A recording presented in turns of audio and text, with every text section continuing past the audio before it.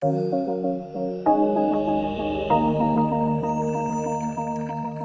вижу, что здесь много знакомых людей, но я все-таки коротко расскажу про нашу историю. Э, сам проект э, появился в недрах Куку.орг довольно давно, в 2016 году, по-моему, он запустился. И это было такое приложение Куку.орг, где собирались решать глобальные проблемы с помощью обсуждения, э, решения по алгоритму каких-то там важных для Беларуси проблем, это был такой визионерский проект э, придумывания будущего, и на самом деле мы вот, эту, вот этот вектор сохранили для себя до сих пор. Мы свой сайт до сих пор называем визионерским, и главное, что ли, наша идея, это в том, чтобы мы э, фантазировали лучшую Беларусь. То есть понятно, что в Беларуси не так много происходит э, существенных изменений, и довольно амбициозно назвать сайт Reform By, но при этом мы считаем, что если не заниматься вот этим визионерством, а, не придумывать будущее, а, то, в принципе, этого будущего может и не быть.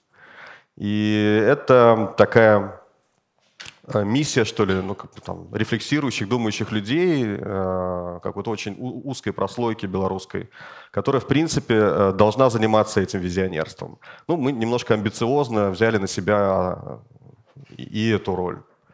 И вот после того, как э, довольно наивно был запущено, было запущено это приложение Cookwork, оно просуществовало некоторое время, и в итоге трансформировалось в такой наш Сержем Харитоном совместный проект, где мы делали два лонгрида в, в неделю, э, как раз занимались визионерством, но в том числе нащупали еще одну интересную нишу. Э, это такие большие лонгриды интервью.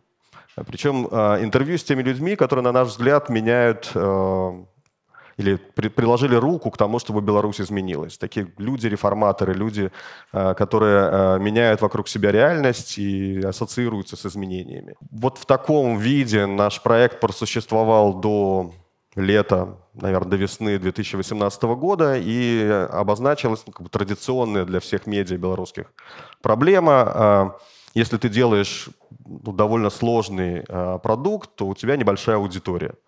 И как монетизировать такую аудиторию, ну, это высший пилотаж должен быть, я не знаю, там, маркетологов, э, продавцов, рекламы, контента для того, чтобы такой проект монетизировать. Э, и после чего у Сержа появилась другая работа. Я решил проект не останавливать, э, изменить его формат. И сейчас вот, то, то, что есть сейчас с Reform Buy, это то, что было задумано и начало реализовываться в августе 2018 года. Именно в 2018 году, в августе, мы запустили сайт, я бы не назвал с новым дизайном, потому что это вряд ли можно назвать после там Reform IO, то, что было вылезано очень красиво. Сейчас это вряд ли выглядит настолько же круто, но в то же время это более функциональный продукт, э, где возможно не только лонгриды, а есть э, место для коротких новостей, для ленты новостей, для мини-расследований места, для э, каких-то форматов журналистских, которые не более оперативные и более экономные, что ли. И вот мы прошли такую стадию, здесь нарисовал, а, из чего мы выросли, из Куку, это было потом со странным доменом referm.io, потом, а, чтобы не пугать людей, мы сделали referm by для того, чтобы проще находить было. До сих пор многие люди набирают referm by почему-то. И в итоге удалось выкупить э, домен Reform By. Мне кажется, что это ну, более звучный, что ли, его проще запомнить. Да, я рассказал, что мы сменили э, формат буквально 1 августа 2018 года, и первый месяц мы отработали ну, с какими-то совершенно минимальными, э, э, минимальным вниманием со стороны публики. Да? То есть это был совсем другой э, сайт, другой продукт, более простой, так, таких э, конкурирующих сайтов в белорусском интернете довольно много. Э, стартом стало для нас... Э, дело Белта. Дело в том, что один из моих партнеров, с которым мы начинали э, новый формат сайта, это Алексей Жуков. Это тот журналист, который как раз попал э, под э, жернова, что ли, Следственного комитета, оказался в тюрьме, и это буквально случилось там, как 7 августа. Мы, мы успели отработать 7 дней, в новом формате, и тут же мой коллега попал в тюрьму. Не будь мы там, теми людьми, которыми мы есть, мы это все на самом деле довольно здорово конвертировали в, во внимание к сайту.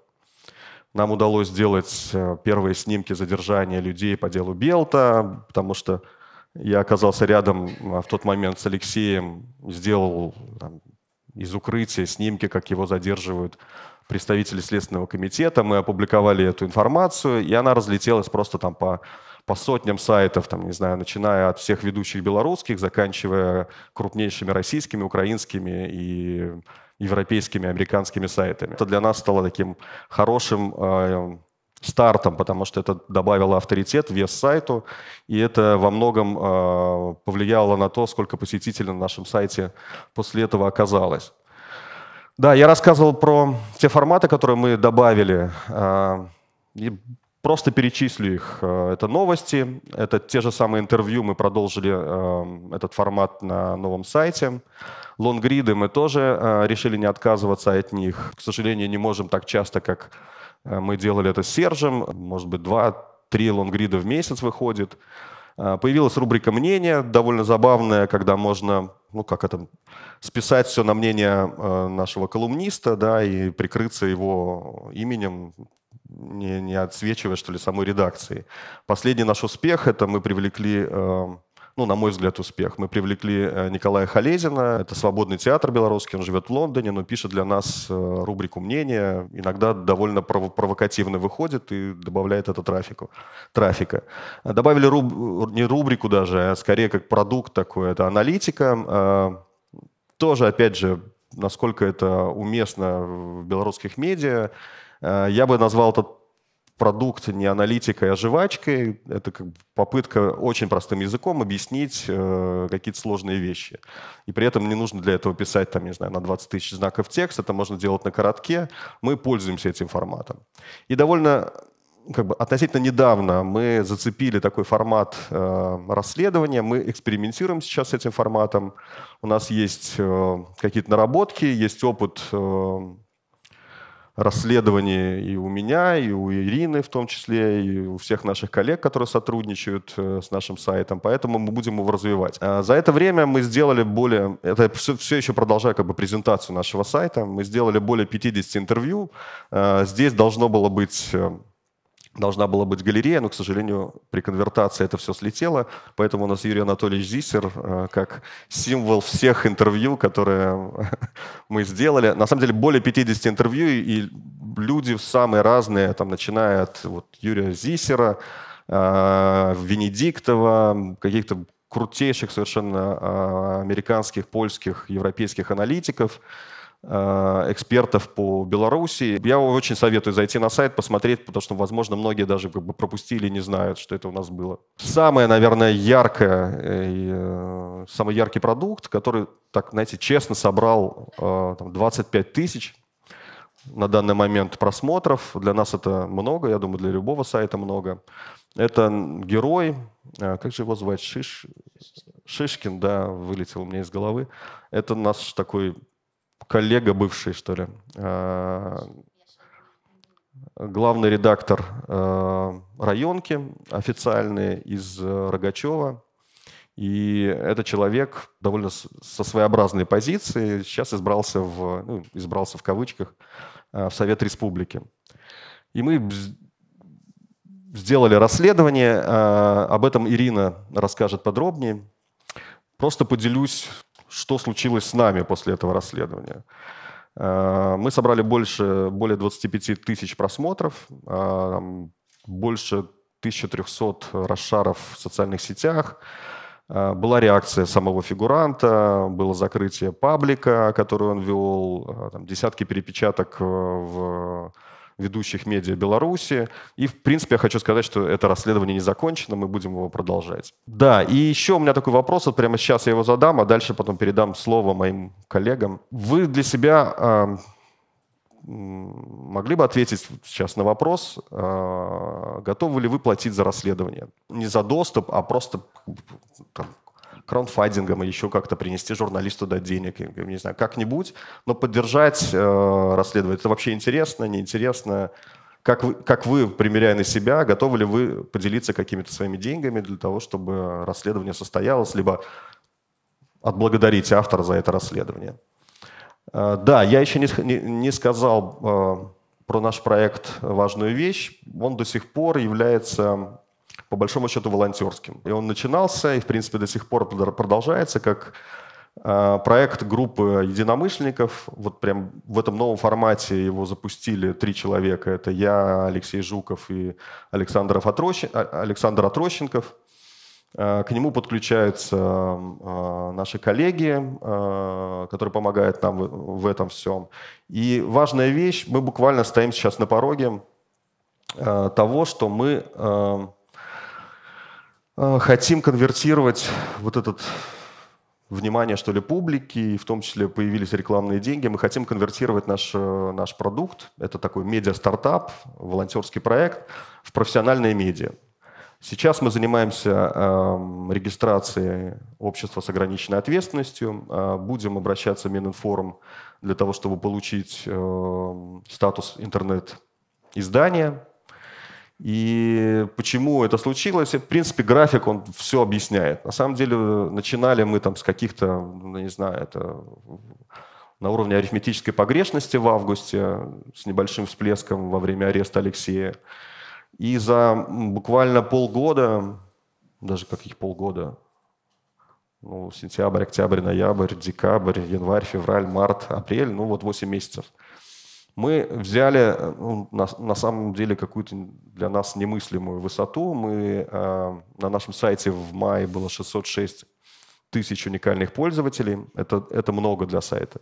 То есть для, так, для, так, для такого медиа, у которого нет истории, нет благодарной аудитории, то есть в принципе, да, то есть мы э, с помощью э, того инструментария, который у нас был в руках, мы смогли э, раскачаться до 606 тысяч уникальных посетителей. Я горжусь моими коллегами, собой горжусь. Это хороший показатель. Мы не думали, что мы так быстро зацепимся за эту высоту. Затем было э, снижение. Ну, опять же, это было лето, и в августе у нас значительно просела аудитория. Сейчас мы вышли э, примерно опять где-то зацепимся за 600 тысяч. Это, чтобы вы понимали, это каждый день на сайте бывает около 30 тысяч уникальных пользователей. То есть, в принципе, это нормально уже для любого сайта, который, там, не знаю, существует десят, десятки лет. И хочу рассказать про одну маленькую э, историю. Э, с нами случился ну, та, та самая болезнь роста. То есть, когда мы вырвались э, до 600 тысяч, мы столкнулись с тем, что мы просто с нашими ресурсами не тянем такую аудиторию. То есть у нас сайт э, провис э, в августе-сентябре только из-за того, что были технические накладки. Наш сервер не потянул, э, наш скрипт сайта не потянул, пришлось там просто на ходу, знаете, как вот машина едет, там и на ходу меняли колеса. Относительно относительно удалось решить эту проблему, но пока мы еще в таком тоже разобранном состоянии. Поэтому э, приходится делать одновременно все. Решать технические проблемы, юридические, с контентом, одновременно делать спецпроекты параллельно для того, чтобы э, быть узнаваемыми, э, участвовать в таких вот мероприятиях, как это. Очень благодарен пресс-клубу, что нас пригласили. И один из э, проектов, в котором мы, мы хотим не просто как бы накачать аудиторию, да, или там, собрать ее какими-то э, мелкими форматами, э, которые неузнаваемы. Э, это спецпроект, называется «Эмансипация». Это проект про женское лидерство серии интервью. И на этом я заканчиваю трендеть, Спасибо. извините, да. Значит, мне чуть-чуть Передаю будет, слово сказать. Ольге Мжельской, которая попробует рассказать о нашем проекте подробнее. Спасибо. Добрый вечер. А, я названа автором а, проекта «Эмансипация», но мне все-таки кажется, что автором является а, Федор, а я, наверное, в какой-то степени лицо и руки и голова этого проекта. Все началось э, с того, что ну, поскольку я жена Федора, то мы часто в кухне обсуждаем различные, да, различные вопросы и работу в том числе. Он хорошо знает сферу моих интересов. Э, и в целом э, у э, Reform Buy была такая проблема, связанная с тем, что в основном герои, которые появляются на реформации, это в основном мужчины. Ну, даже даже, наверное, не в основном, а мужчины, да, Федор? Ну да, у нас там под 90% героев интервью были мужчины. Мы как-то вот я не знаю, поняли, что... почему так. Да. да, то есть это получилось как-то э, само собой. И знаю, что Федор давно переживал по этому поводу. А, и а, так случилось, все срослось, что как-то Федор говорит, слушай, Оля, я тут э, подумал, нужно сделать проект про женское лидерство. Серию интервью, вот прям вот целенаправленно думать о том, с какими женщинами можно сделать интервью интересные. Может быть, ты бы э, стала менеджером этого проекта, э, подобрала бы тех самых героинь, договаривалась бы об интервью. Я говорю, ну, давай. По сути дела, для нас проект «Эмансипация» — это такой эксперимент. То есть э, мы а, в очень подвижном состоянии. Э, каждую героиню мы подбираем. А, то есть у нас нет конкретного списка вот уже готового, а, кого э, мы будем интервьюировать. К каждому интервью мы подбираем героиню. И это проект вдохновения в первую очередь. Нам самим просто даже интересно понять, кто эти женщины, как они мыслят, как они видят самих себя, как они добились успеха. И совершенно неважно, э, каких, э, в каких они профессиях, э, важно сам ход мысли. Я правильно говорю, Федор? Я не знаю, да, наверное. А, вот. И поэтому формат такой, ну, лайфстайл, да, то есть люди, которые приходят послушать эти интервью, они все из разных сфер и совершенно не обязательно совпадают с сферой там, профессиональных героинь. И на, этот, на, на данный момент у нас э, прошло три интервью. Первое мы делали с Александрой Герасимени. Спасибо ей огромное за то, что она сходу согласилась участвовать. А, по сути дела, ну, в проекте не, не такого большого ресурса, как если бы ей предложил там Тутбай а, или там онлайнер. В общем-то, для нас было важно сделать первое интервью с такой, а, ну, со звездой стопроцентной, да, которой прям не подкопаться. Второй нашей героиней была Екатерина Забелла, это известная юрист. Интервью получилось, э, с моей точки зрения, бомбическая. Она ну, не от того, что мы такие классные и так хорошо все сделали, а от того, что человек э, невероятный и очень умный, интересный. Когда делаешь интервью, всегда можно, не знаю, там видео формат, ну, какой-то да. там текстовый формат, всегда можно порезать, почистить это, подшлифовать. подшлифовать, да, потом фотографию опубликовал, текст там какой-то выдал, все класс, э, вот этой кухни внутренней не видно. И мы, в принципе, хотели делать, э, ну, такой для нас большой вызов, большая амбиция э, сделать это все на виду у зрителей. То есть вопрос даже не в том, чтобы зрителям показать это внутреннюю кухню, а в том, чтобы это было вот и с точки зрения героини героя, э, нас, зрителей, чтобы была такая чистота, что ли. Ничего нельзя уже вырезать, что сказал, то сказал. А, это можно только ну, просто чуть-чуть причесать уже для сайта, и, мы, в принципе, не стремимся выкидывать какие-то куски. Получается в итоге ну, довольно длинные интервью, не, такие неформатные. Но э, это, ну, правда, это, это интересно. Это вот получается, что ты, ты, ты когда находишься там, ты видишь, как это все изнутри создается. А, не всегда есть возможность э, у читателей, даже в принципе у многих журналистов, посмотреть на это со стороны, как это работает и как это все вот как бы возникает магия, не возникает, да. И у нас в, какие, в какие-то моменты магия действительно возникала. Мне самому было интересно, потому что как бы, такой перфекционист, э, всегда вижу недостатки, но там были моменты, когда просто забываешь о том, что это мы делаем сейчас это интервью, его надо записать, там что-то сделать, а прям как бы увлекаешься и начинаешь слушать героя, героиню. Ну еще вот этот момент я подчеркну, а, Ольга сказала, откуда родилась идея. У нас действительно было процентов 90 мужских интервью, это прям уже было смешно, ну правда. В какой-то момент решили, что просто надо просто взять и радикально решить этот вопрос, прям сделать серию женских интервью и самое классное... себя в угол просто Да, и самая классная, э, по-моему, идея это показать как белорусок, таких, знаете, прям вообще очень классных, которые добились в бизнесе, в своем деле какого-то успеха значительного. И мне кажется, что все наши пока три героини, это как раз те люди, как, как раз соответствуют этому критерию. И мы плюс еще в этом смысле могли отказаться, ну, немножко отползти от этого э, нашего общественно-политического, что ли, формата. И в данном случае мы могли э, сделать такой, ну, хоть немножко лайфстайл э, интервью, добавить э, какой-то там личных историй. Э, мне кажется, что где-то, ну, процентов на 80 нам это удалось. Я видел вопросы, которые приходят через Можно эту замечательную систему. Да, ты... Или есть про, именно про наш проект? Про эмансипацию. Э, ну, ты ну, можешь я добавить, коротко, да. да, еще добавлю, что э, сами того не ожидая, ну, мы хотели подчеркнуть э, уровень наших героинь, и э, в, в описании проекта э, у нас всегда пишется, что мы делаем интервью с выдающимися женщинами Беларуси. И так получилось, что мы просто и сами э, не думали, что для многих это словосочетание станет очень таким ну, проблемным, что ли, да. Э, но мне кажется, что это очень э, по-белорусски. Вот да? точно, То есть точно женщины крутейшие просто, вне зависимости от э, пола.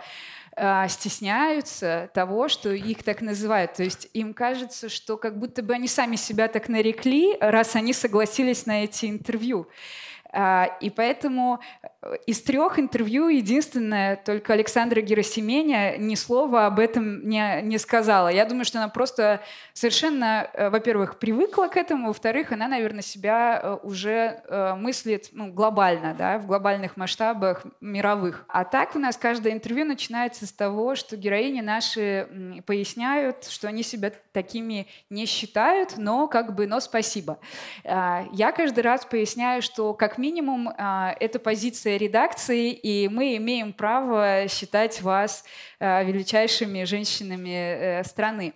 Но в целом, если так просто подумать не про Беларусь, а, допустим, просто про, про соседние страны, да, там, ну, например, главный редактор э, информационного агентства в России, ну, это же высший пилотаж, правда? Или там в Польше, э, или в Украине.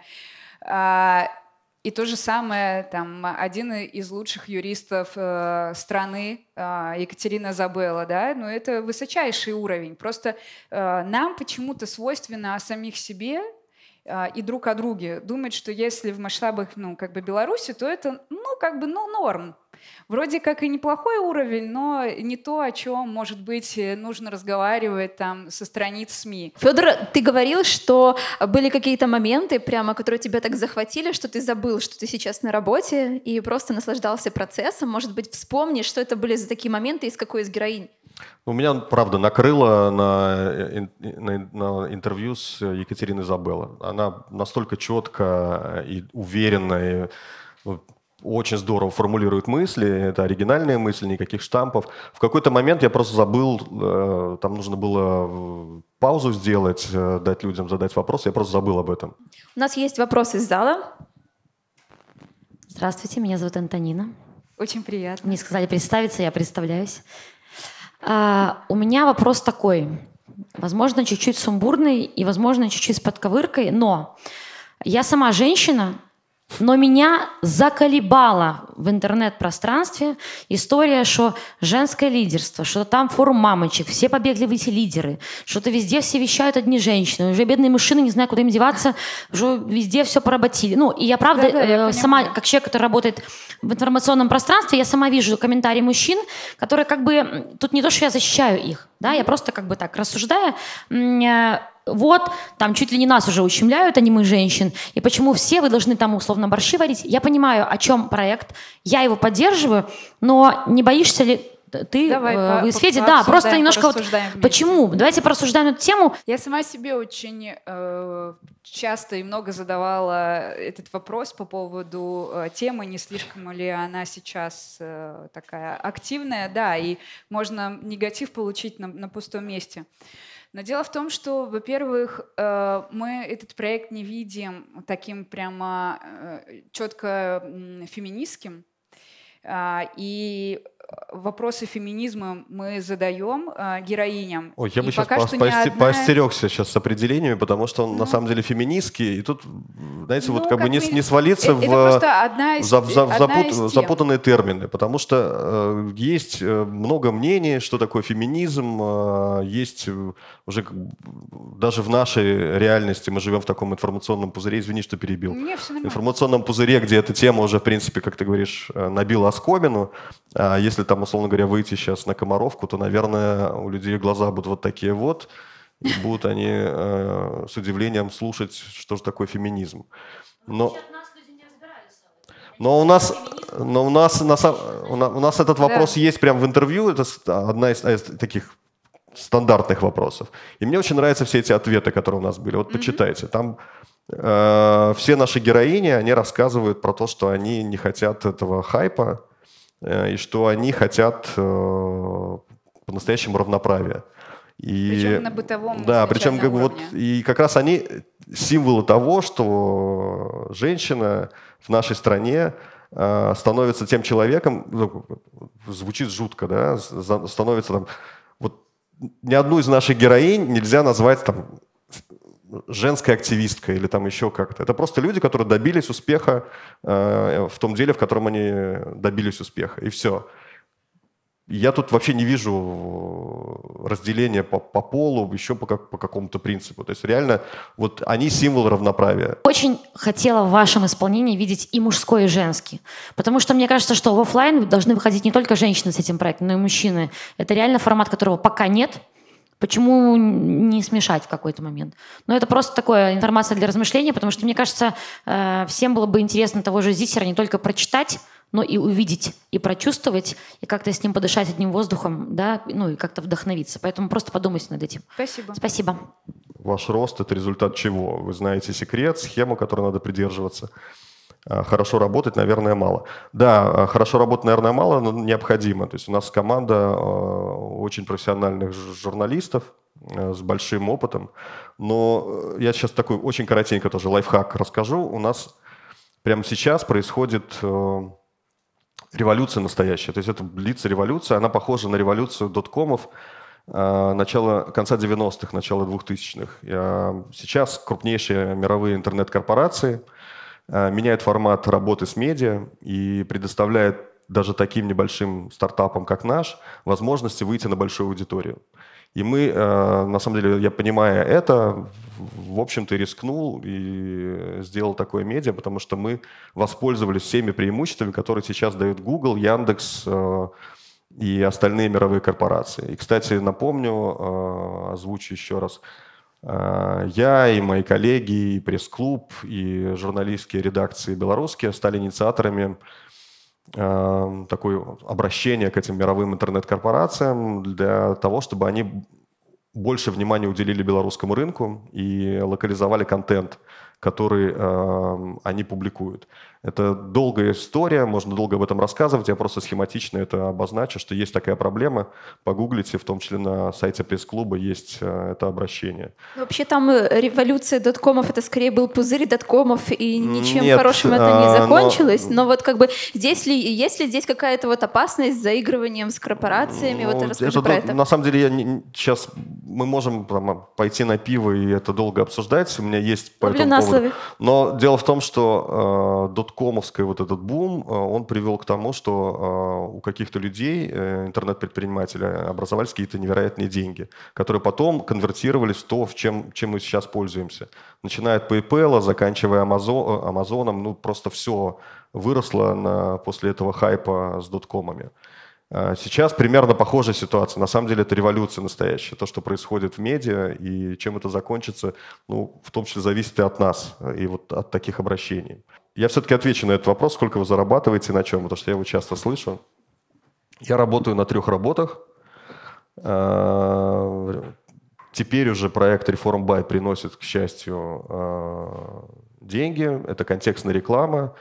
Вот просто поделюсь какими-то цифрами. А, это в районе 1200 евро в месяц этот сайт зарабатывает. И, в принципе, это уже как бы неплохая основа для того, чтобы делать следующий шаг и э, привлекать нативную рекламу, э, делать какую-то официальную площадку. То есть это, на эти деньги уже можно э, что-то делать. Да? Это небольшие деньги, но это, это все равно лучше, чем ничего. Да, и вот, ну дайте уже слово Ирине, пусть расскажет о себе и расследовании. Спасибо. Ну, тут сказалі, што ў мяне будзе майстар-клас. Я не ведаю, можа быць, гэта занадта гучна, Ну як будзе, так будзе. Насамрэч навыкі расследаванняў патрэбныя сёння ў прынцыпе большасці людзей, якія карыстаюцца так ці інакш інтэрнэтам. Гэта банальная медыя, граматнасць, лічбавая гігіена.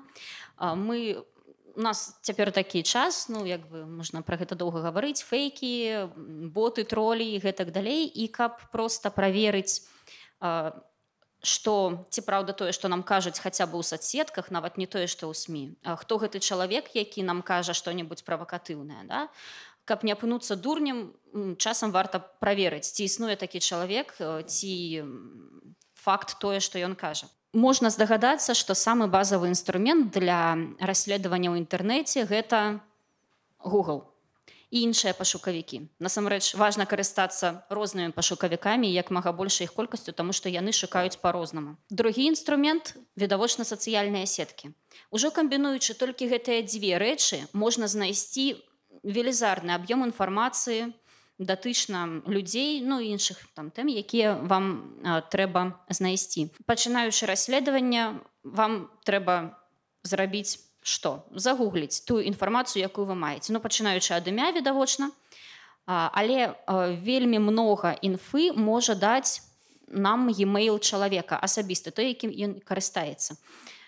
Мы канешне можемм даслаць яму e-mail і задаць яму ўсе пытанні але наўрад ці нам адкажуць. Але калі мы загуглім гэты e-mail то ну просто людзі часта пра гэта не здагадваюцца пра такую звычайную рэч мы можам знайсці масу яго аккаунтаў на самых розных ресурсах на форумах у там іншых рэчах і дзе мы адкапаем розную інфармацыю якая можа даць нам новыя зачэпкі тут жа дзякуючы e-mailу ці інакш мы можам знайсці нікнейм чалавека які ён часта выкарыстоўвае яго на пастаянны нікнейм які таксама можа даць нам масу інфармацыі Много важных штук можна даведацца маючы e-mail чалавека як я уже сказала або яго телефон. І гэта яшчэ такая важная рэч мы можемм прывязаць да мы можемм даведацца якая у чалавека старонка ў сацыяльных сетках калі мы не ведаем дзе менавіта ягоная старонка калі ён падпісаны не сваім імем і гэтак далей. І гэта дазваляе нам зрабіць такая простая рэч як кнопачка забыў пароль у твиттары гэта наогул просто что называется беспредел нават e-mail не трэба мець трэба мець толькі нікнейм чалавека і можна убачыць якія у яго апошнія лічбы телефона і якія вось там некаторыя літары яго яго імейла і гэтага часам дастаткова калі мы валодаем часткай інфармацыі каб прывязаць пэўную старонку да пэўнага чалавека. Зразумець напрыклад гэта фейкавы аккаунт ці не фейкавы аккаунт Вось. У тое самае толькі трошки складаней нам дазваляе зрабіць Facebook. Там уже трэба мець або e-mail або телефон Вось там на маім прыкладзе. І тое самае дазваляе зрабіць ВК у аднакласніках дарэчы большая ступень бяспекі там так не зробіш. Там калі ты ўвядзеш телефон то на яго адразу будзе адпраўляцца код. І ну ты трошки ускрыешся перад тым чалавекам пра якога ты шукаеш. Ось, ну зразумела у месенджерах тое самае у вайберы часам там людзі ты іх шукаеш шукаеш а яны ў вайберы падпісаныя там сваім імем ты вось бачыш ён гэта ён калі ты ведаеш раптам телефон много інфармацыі дае само сабой зразумела аналіз сацыяльных сетак. А, тут я магу сказаць на прыкладзе ўкантакціка таму што як вядома у ім больш за ўсё карыстальнікаў беларусі само сабой зразумела што па-перша мы там даведаемся персанальную інфармацыю там гады нараджэння месцы навучання гэтак далей калі яны не схаваныя але там яшчэ можна даведацца такія штукі як у што робіць чалавек у гэтай сацыяльнай сетцы. Яго праз гэта можна даведацца праз тое дзе яго ўзгадваюць. Вы можете вельмі лёгка знайсці гэта калі вы просто загугліце найти упамінанне вк і вы падстаўляеце ў гэты лінк ID чалавека ці нумары ці ягоны нік які ў яго ў кантакце стаіць у урле. І такім чынам вы бачыце ўсю гісторыю дзе яго ўзгадвалі ў кантакце. Прычым гэта дзейнічае нават у тым выпадку калі чалавек змяняў назву старонкі змяняў імя і гэтак далей. То бок насамрэч там можна выкапаць вот столькі ўсяго. Калі трэба прааналізаваць сувязі чалавека там знайсці даказаць што пэўная група людзей паміж сабой звязаная ну многія можа быць ведаюць ну, зноў жа я казала я гавару пра базавыя рэчы ёсць такі сервіс для кантакціка гэта агульныя сябры. Зноў жа гугліце і у гэтым сервісе вы забіваеце два ID і даведваецеся ўсе іх агульныя сябр усіх сяброў суполкі і гэтак далей і вось такімі простымі метадамі Ну і плюс яшчэ канешне много там работы можна ўжо зрабіць расследаванне якое у можа быць можа зрабіць много шуму. Хаця здаецца яно даволі проста так было з маім расследаваннем пра Андрэя шышкіна галоўнага рэдактара рагачоўскай газеты свабоднае слово Вось гэты мужчына Ён стаў нядаўна э, членам савета рэспублікі Чаму наогул узяліся мы за гэтага цудоўнага мужчыну? Ну як часто бываю журналісцкай рабоце гэта не, мы бярэмся за нейкія рэчы якія не на відавоку калі мы самі нешта пра іх ведаем цікавімся або калі нас нехта там падштурхне нехта скіне інфармацыю. Тут гэтая два фактары супалі. Вось я пра гэтага мужчынку ведала ўжо даўно. Я там яшчэ калі не была журналістам ініцыянавала у сМ там заявіла прэтэнзіі яму за тое што я на сваім сайце на сайце дзяржаўнай газеты размяшчае беларусафобскія артыкулы з розных там рэгнумаў і гэтак далей. А, вось. І гэта было яшчэ ў чатырнацатым годзе. Я пасля надта так э, моцна не сачыла за яго дзейнасцю. І вось гэтым летам восенню значыць мы даведаемся што ён ёсць у спісах высунутых на пасаду сенатара ад гомельскай вобласці. Ну як так?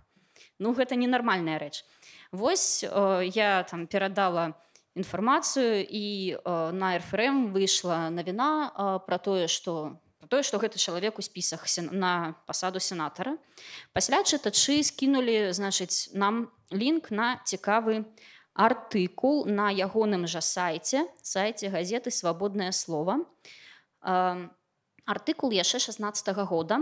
Э, про тое як кепска у прайшоў пікет апазіцыйнага актывіста ў рагачове які ён быў там непрыгожы кепска арганізаваны там было тры чалавекі падаў стэнд і гэтак далей. То бок у такім ачарняльным духу. Гэты артыкул там было тры фоткі невялікі тэкст і ён не быў падпісаны ніякім імем што пасля э, як я прааналізавала для гэтай для сайта газеты ну вельмі незвычайна заўжды ёсць подпісы нейкія пад артыкуламі псеўданімы хаця бы а тут не было ніякага затое быў лінк на старонку у кантакце дзе быў размешаны гэты ж самы допіс гэты тэкст і гэтыя тры фоткі. І ён быў у профілі чалавека які называўся не Іван Рагачёв. Тут бачна на аватарцы, што свабоды новасць Рагачова і так адразу у прынцыпе можна здагадацца, што неяк гэты профіль ён ну гэта не сапраўдны імя чалавека, а гэта нейкі чалавек звязаны з рагачовым і звязаны з газетай свабоднае слово. А, на яго спасылаюцца, каб размясціць матэрыял правакатыўны вельмі на сайце газеты відавочна, што гэта супрацоўнік газеты, але ну трэба пруфы. А, чаму зацікавіліся гэтым профілем Таму што гэты профіль меў, калі нехта бачыў расследаванне, огромную колькасць перапостаў з паблікаў кшталту змага использованая прокладка з вельмі непрыемнымі і не проста непрыемнымі у прынцыпе экстрэміскімі матэрыяламі у гэтым тэксце як я сказала быў ой, у артыкуле на сайце тэкст і тры фоткі і вось мы маем гэты тэксты тры фоткі лінк на профілю вк вось як бы вы дзейнічалі калі б у вас была гіпотэза што гэты чалавек працуе ў газеце як бы вы даказвалі? Які быў бы ваш першы там другі крок? Варианты нас... какие-нибудь в зале есть? У нас есть тэкст і ёсць фото тэкст нам акрамя да зараз фактычнай інфармацыі ну дае стылістычную яшчэ інфармацыю. Мы можемм параўнаць да стыль. А што нам можа даць фото Ну, данные, да. Экзив, да. А, здаецца многія ведаюць пра экзіф насамрэч многія пра яго забываюць і не ўсе сайты яго знішаюць калі ты загружаеш туды фоткі соцсеткі знішаюць сайты не ўсе і аказалася что у на сайце у гэтым артыкуле тры фоткі дзве з іх былі загружаныя з контакта то бок ужо з пачышаным эксіфам са змененымі імёнамі але адна там апошняя была загружана памылкова відаць з камп'ютара з арыгінальнага файла. І там захаваўся ўвесь эксів я скажу что там ёсць імя файла так як іменуе э, фотоапарат паслядоўна з нумарацыяй. Ёсць э, сама марка фотоапарата модель і дата. Праглядзела я там значыць фотаздымкі іншыя на гэтым сайце рэдакцыйныя да пасля стала зразумела што гэта той же самы фотоапарат што нумарацыя прынцыпе супадае зразумела што гэта зроблена з аднаго фотоапарата і што гэта рабіў супрацоўнік рэдакцыі. На контэкзіфа яшчэ вельмі цікавы выпадак вам пакажу наколькі важна важна яго чысціць зараз. У 2012 годзе быў такі выпадак. Бачыце чалавек стаіць нагамі ў салаце на падлозе. На фарчане можа быць хтосьці ведае такі ресурс выклаў чалавек нейкі значит такое фото і напісаў вось што вы ясце ў бургер-кінгу салат які вы ясце ў бургер-кінгу ну каб пахваліцца значыць які ён змагар з сістэмай пасля гэтага яго за 20 хвілін здаанонілі і звольнілі з працы. Чаму? Таму што я не пачысціў экзіф і там у экзіфе захавалася геалакацыя што гэта нейкі там горад забыла які у агая. І у хутка знайшлі значыць галіну бургер кінга там потым знайшлі хутчэй за ўсё які гэта менавіта рэстаран бургер кінга ці ён там быў адзін скінулі гэту інфармацыю у газеты і працадаўцу і яго звольнілі. Там я ўжо прааналізавала профіль у вк праглядзела ўсю інфармацыю прагартала яго да самага канца і э, стала відавочна што гэта галоўны рэдактар газеты. Ну а пасля я знайшла ягоных так сказаць пашукала сяброў ворагаў знайшла ворагаў знайшла ягоны асабісты телефон просто каб канчаткова пацвердзіць што ён гэта ён і атрымала як я уже гаварыла у вайберы цудоўную карцінку калі я забіла банальна ягоны телефон у вайбер. Ну і вось стала зразумела што Іван рагачов гэта Андрей геннадзеві шышкін які распаўсюджваў гэтыя самыя экстрэміскія матэрыялы і стаў у пасля сенатарам нягледзячы на гэтае расследаванне. Але тым не менш ну, наступны раз дапаможа скажем так ці каму-нибудь іншаму дапамогуць такія метады нешта змяніць рэальна. І можа быць яшчэ ў гэтым выпадку нешта будзе зменена ў будучыні. Тым больш важна такімі інструментамі зараз карыстацца і правяраць можа быць усялякіх сумнеўных персон ва ўмовах калі ў нас тут у у наших так сказать палітычных сённяшніх умовах з інтэграцыямі усім астатнім і прапагандай то, какой путь был проделан, вот эта работа сама, она полностью э, соответствует тому, что делают там Биллинкет или э, другие расследователи, которые используют в основном цифровые по большому счету инструменты, вот только цифровую информацию из интернета, в онлайне, в открытом доступе, и они натягивают это на какую-то фактуру и, соответственно, там доказывают какие-то вещи. Все можно применить, э, в конце концов, для того же кейса, который сейчас самый громкий, с э, бывшим Собровцем, который дал интервью, э, проверить, допустим, можно было в первый же день, что мы сделали, это его связи его личность цифровую, с кем он дружит, какие у него друзья есть в силовых органах и так далее. Мы хотим использовать э, следующий механизм. Мы хотим попробовать э, сделать такой, как мои коллеги назвали это, Uber для расследователей. Это мы хотим интегрировать, возможно, те инструменты краудфандинга, которые есть на рынке, для того, чтобы эм, каким-то образом компенсировать работу расследователя. Допустим, вот было вот это интервью, интервью расследование по поводу Шишкина. Оно там собрало огромную аудиторию. Людям это понравилось. Было видно, что людям понравилось, они делились, обсуждали. И э, в будущем мы хотим для таких вот текстов э, внизу, в конце статьи, цеплять, вот у нас есть мола-мола краудфандинговая площадка, довольно просто там все это организовано. Если читателю понравился текст, то ничего ему не мешает э, отправить доллар, 5 долларов э, на счет автора. Штука такая, что мы не хотим брать на себя э, обслуживание этих денег или как бы вообще их учет.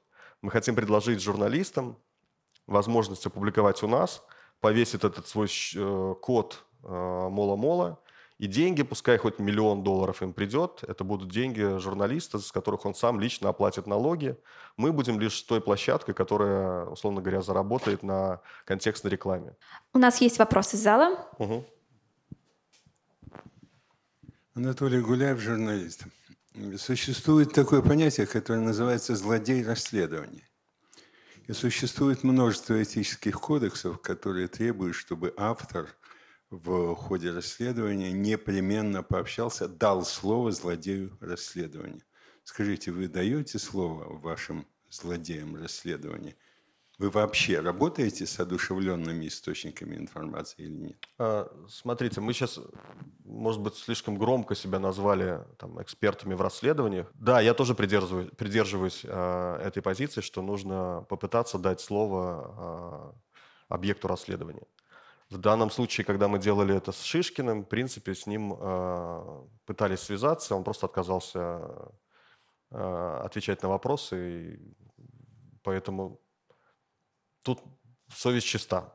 Я это к чему говорю? Я это говорю к тому, что сегодня есть, существует в ходе расследований и среди журналистов расследований существует некоторое такое противоречие довольно серьезное. То есть Одни считают, что по-прежнему, как и прежде, важное место в расследовании э, для одушевленных источников информации. То есть это люди, с которыми можно общаться, задавать им дополнительные вопросы, по их реакции ну, судить о том, э, правильно, неправильно, четко они честно отвечают или нет. И есть люди, которые считают, что можно сделать расследование, не вставая из-за компьютера. Скажите, вы к каким относитесь? Ну, я думаю, это залежыць у першую чаргу ад расследавання і ад фактуры, з якой мы працуем. Да?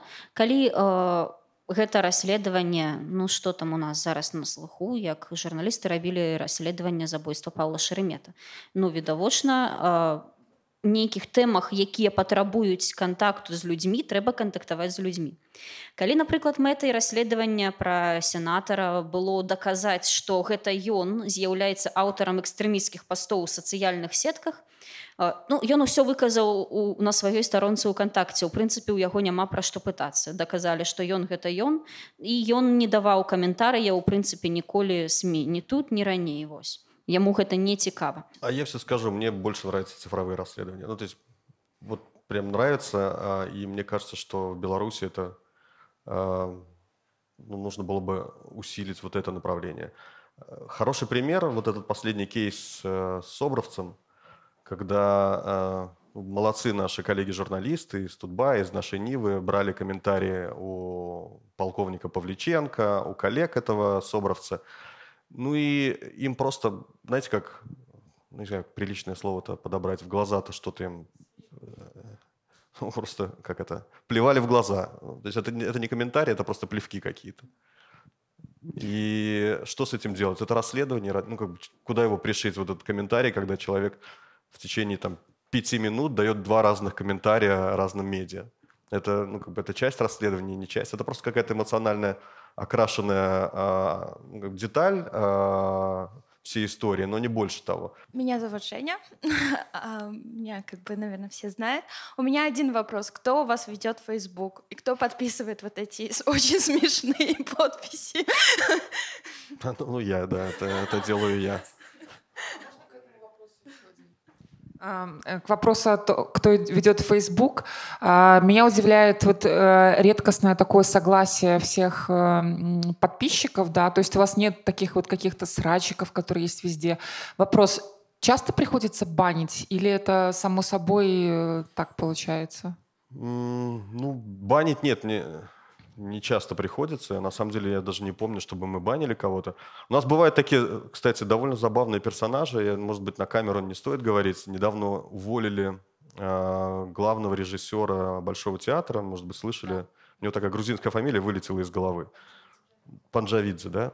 И он, э, как оказалось, он такой большой поклонник нашего сайта, часто комментировал у нас э, в Facebook-группе много всего. Он такой сторонник э, русского мира, такой молодец вообще за за интеграцию глубокую и так далее. Ну, было интересно э, мнение человека услышать, потому что это был не бот, это был живой человек со своим мнением, и он высказывал свою позицию. Фейсбук ты ведешь, а Телеграм, Твиттер?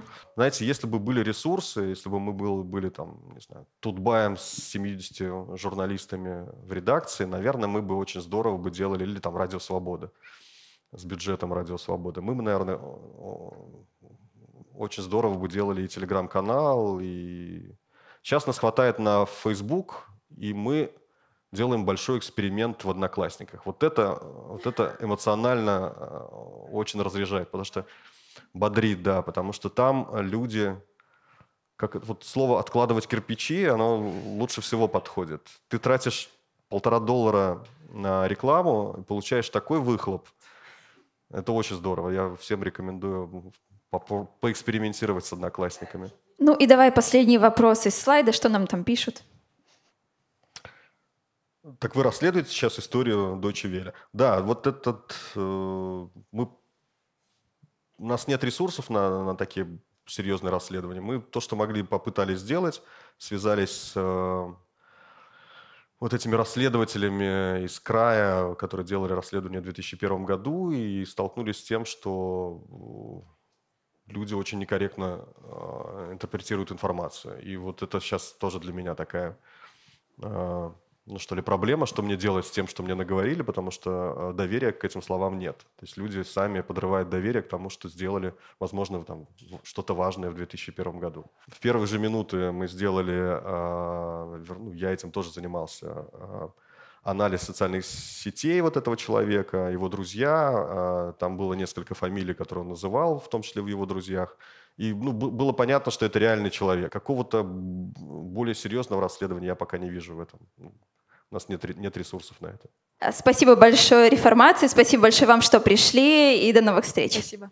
Спасибо вам.